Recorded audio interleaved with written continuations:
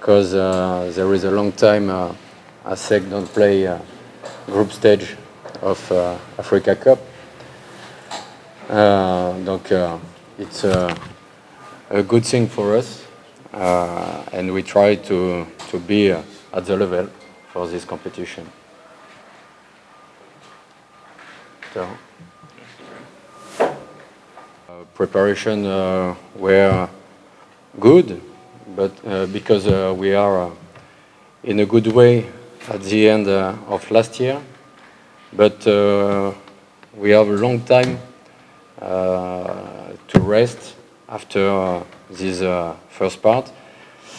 We uh, uh, competition were stopped for uh, AFCON, and it was uh, a little difficult for us to to train to be ready, but we are motivated uh, for this uh, uh, this challenge.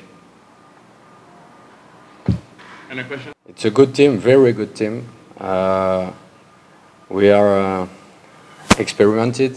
Uh, uh, it's not the, the same for, uh, for our team.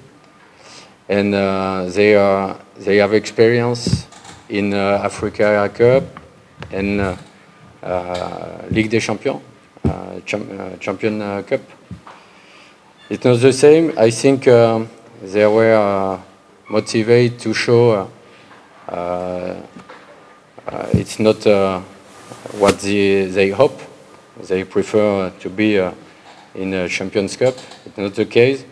And uh, I think uh, they want to show uh, their level, but um, it's, a, it's a team uh, organized for high competition with uh, uh, capacity uh, to, to, uh, to scout uh, good players.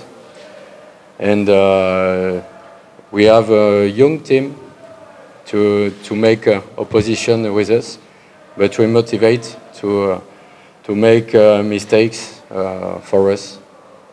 Okay.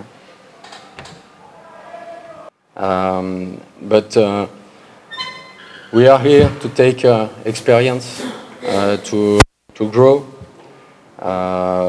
We make this job since two, two years with this team. A little, we construct a little by little step, and uh, we grow uh, together. And uh, it's important for this game to stay in the same way, together, play football, smart football, and uh, and be uh, concentrated a lot, because uh, this uh, this level, this competition is higher um, than uh, uh, the level we know, and, uh, and we play uh, every uh, every week. But we are motivated for this uh, this challenge and and to see uh, what we can do. Two last questions.